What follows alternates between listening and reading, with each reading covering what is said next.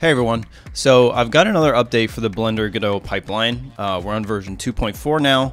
These updates actually completely came from the community. There were a few people asking for a particular feature and I went ahead and implemented it. So I'll get into what that is uh, in a bit. But what I want to show you today is another workflow I've been experimenting with that I think is is pretty powerful, um, and it makes use of the the asset library in Blender.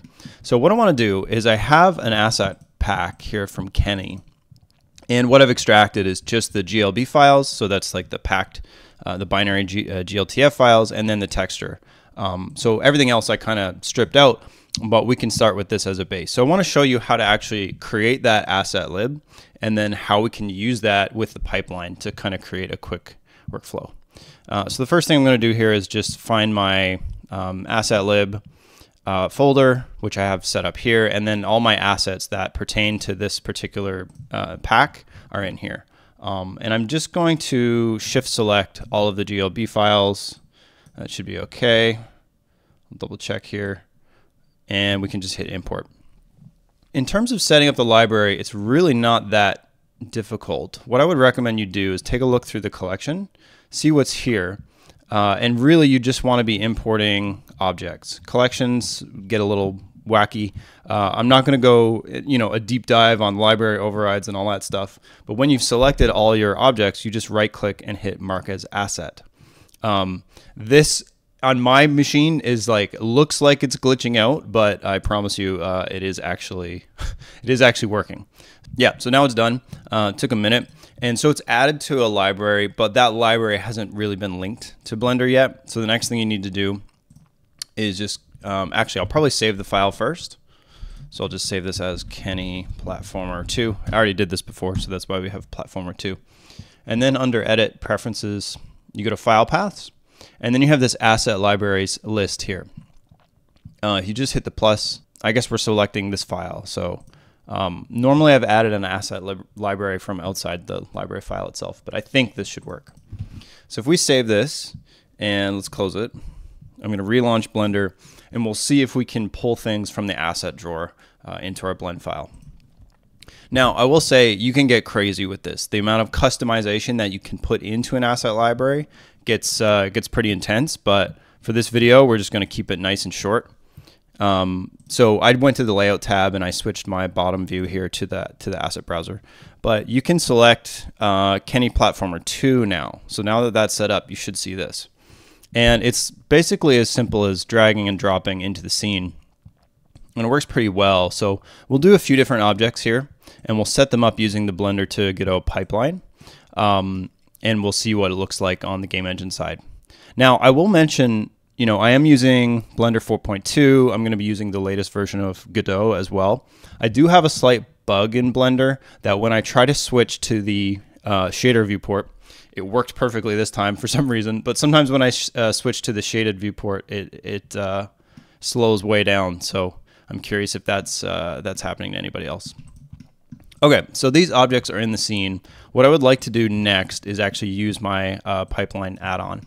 Now, you may be saying to yourself, well, why don't we just edit these objects directly in the library? Well, I'll, I'll, leave that up to you, right? You could. You could modify them in the library and then the custom properties will get attached to them there.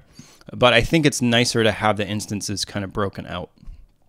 So let's go ahead and actually install the, uh, the pipeline add-on next.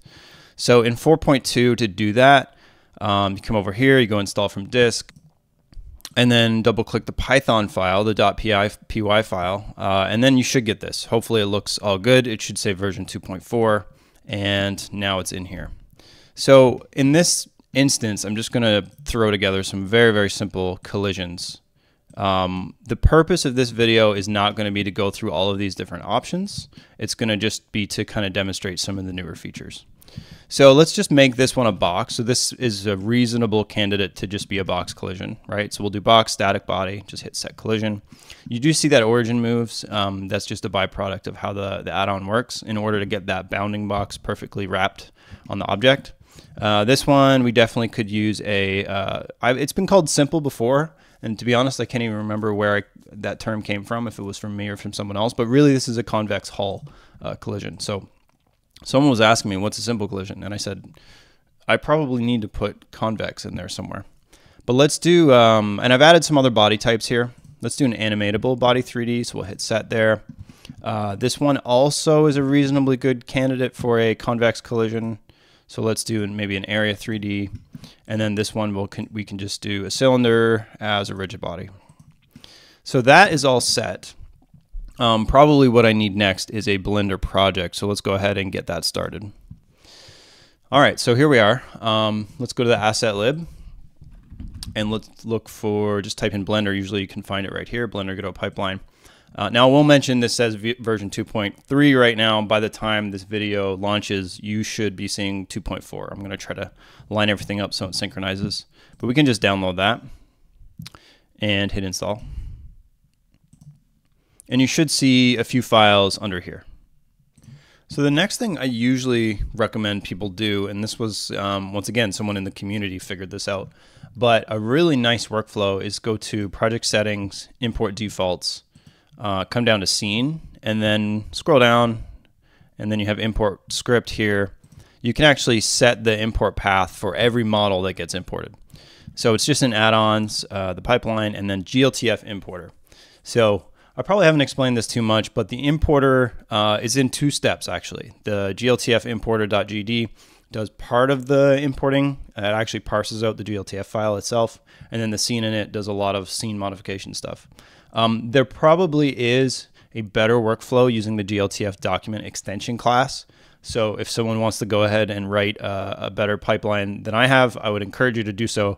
I just don't have necessarily the time to rewrite everything from scratch. Uh, so let's go ahead and open that and then hit save and close. So at this point, we should be okay um, to jump back to Blender now and actually set up this export path. Uh, so let's go ahead and hit the folder. So here's our um, project folder. We can create a new folder. I'll usually just call it assets. That's normally how I organize it. And then, uh, yeah, let's just let's just call this assets, I guess. Not a very creative name today, but that should be okay. So this button, um, it is the same as the like if you just do if you just do export uh, GLTF, it is the same as this, except this dialog, you have to hand pick all these options. And sometimes you might need to do that. So maybe I need to mention that. Uh, you know, at certain points, if you really need custom settings in here, this is still what you should be doing. And you should use GLTF separate. That's what Godot recommends. Uh, the bin and the texture file are separate.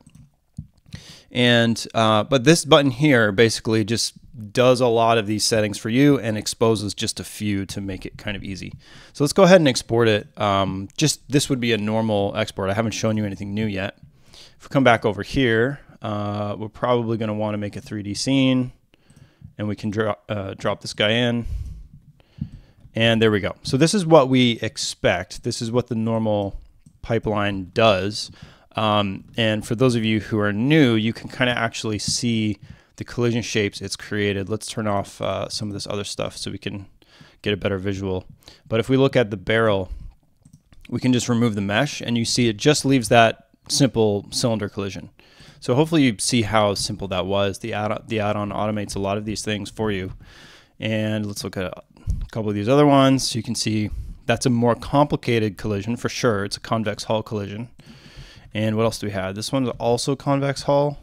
So yeah, there you go. And then this one should be a very simple collision. Should be just a, um, yeah, just a cube. And what you can see on the left is we're doing a whole bunch of different body types. Static body, rigid body, area 3D, animatable body 3D. I will mention that there is a character body 3D here, but I gotta offer some caution on this. Um, if you have a skeleton that's rigged and has animations on it, this is not going to work under this pipeline. And the reason, unfortunately, it has nothing to do with how the pipeline is configured. It has to do with Godot not allowing uh, things that are animated to be reparented easily. Known limitations, right? You should not use this pipeline for animated skeleton meshes. Uh, Godot does not support reparenting animated skeleton meshes.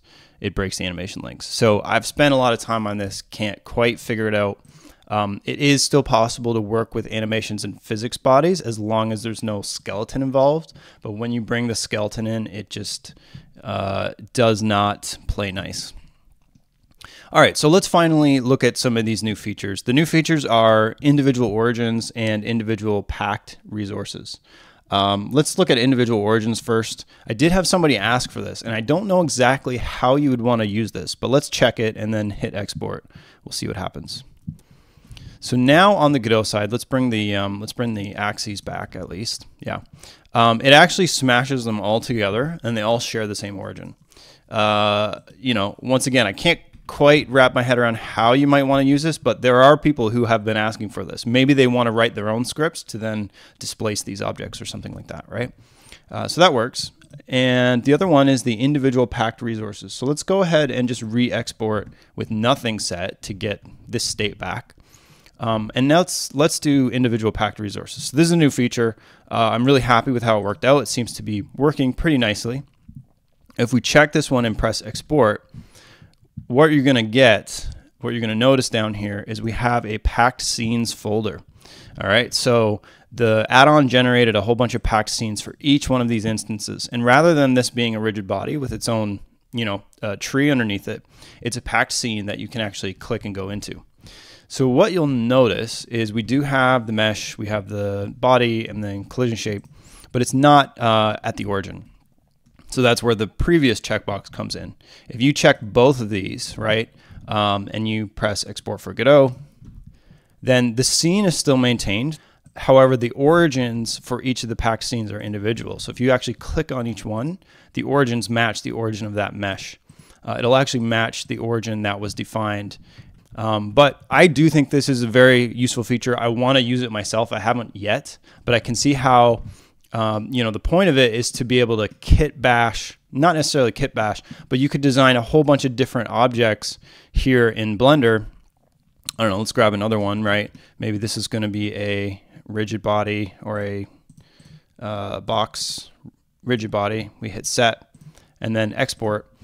You automatically get this packed scene, right? And it just it just brings it in really fast. And then you can jump to that scene and you can see exactly what this is made out of. So then you can use this game object, you know, as you would normally.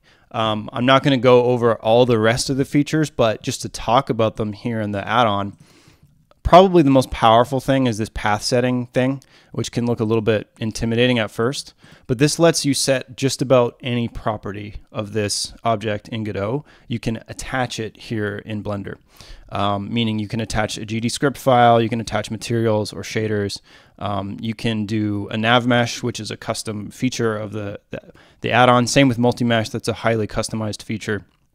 Um, you can set a physics material, which is a TRES file parameter file. Uh, I've talked about that in previous videos, but it's just a line delimited file that allows you to set you know any of the properties that are here. So any of the properties you see in the editor actually as well as any properties that you create in your script, um, it will set those via that file. And then there's the string setter as well. Uh, maybe I should show this. I don't think I've showed this in any any video yet. But if I wanted to set set the collision layer to I don't know layer two, you can just do collision layer equals, now it's binary, so I'm probably doing this wrong, uh, 2, let's try set string, and then export. So, yeah, I'm probably doing something Okay, so I know what I did there. Um, this is a little caveat. I'm actually glad I'm showing this. When you hit export, this scene has to be open in Godot. It's a little quirk that was actually only introduced recently. I think version 4.3 of Godot, something has changed on the back end, uh, and it actually requires this scene to be open. So you do see all these errors here. Let's do that again. If I save this to collision layer 4, which would be, I think, the third layer technically, right? Back in thinking of binary as well. If we do export for Godot, and we'll take a look at this packed scene, collision layer is now on three, right? Which the bit value is four. So you could do uh, one and then use the vertical bar four if you wanted it to be on layer one and four. So set string and then export and then there we go. So I guess my point is you can modify any of these properties. This allows you to set a, a single property, right? So if we look at the custom properties down here, um, you do have the single property. This was once again another suggestion by someone else. Let's try uh, let's try collision mask equals two. Let's see if that works. Yeah, there you go. So if you wanted to set multiple properties, you could set a layer, you could set a custom mask. You can set anything from here, but you can also do it from a property file, which I've showed before. Um, so I think I'm kind of rambling at this point. I hope you found this helpful. Um, this is going to be in the latest version. All the updates should be synchronized on the asset store, and we're now on uh, version 2.4. Uh, so please let me know what you think in the comments. Uh, if this is something you could use in your workflow, let me know. Um, and the only other shout out I'm going to make is that if you have other suggestions on how this should work, please jump into our Discord. Uh, I'll try to put the link below, but otherwise you can find all my stuff on michaeljared.ca. Thanks for watching. I'll see you again soon.